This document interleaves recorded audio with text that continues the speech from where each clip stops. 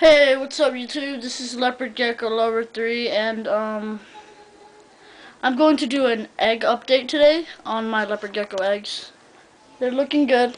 So here, let me show you. There's a temperature. Temperature is going for females.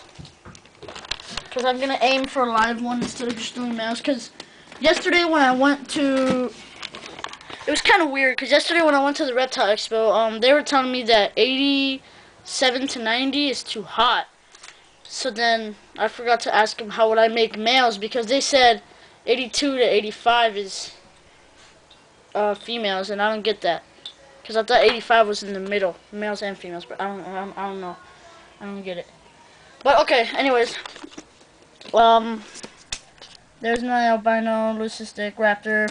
Uh, Forget the male thing. They were late 73109. Alright, well, here they are.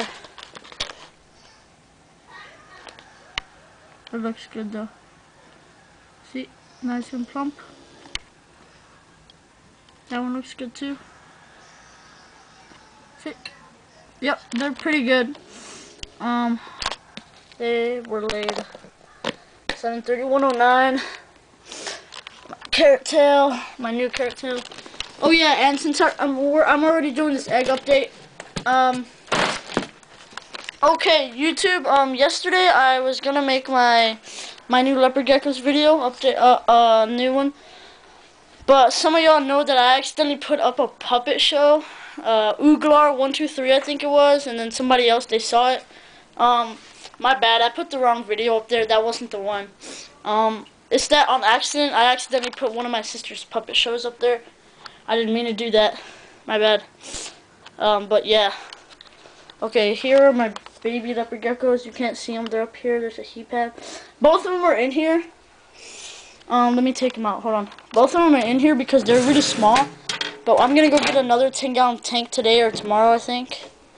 To uh, put them in. Hold on. Alright. My sister has a my sister has a cool little jungle. He's awesome. He or she is awesome. But alright. There's my Sunglow Enigma. Um, this is my sister's jungle. They're the same size. She has a nice jungle. It's her first leopard gecko, so she's kind of happy. And she's already gotten bit twice by my carrot tail and then by her jungle. It's kind of funny. I don't know why. Uh oh, uh oh, uh oh. Stay here, little buddy.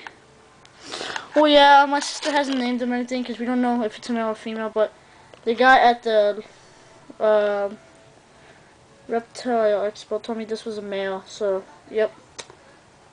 And uh, that's pretty much it. Oh, and one more thing.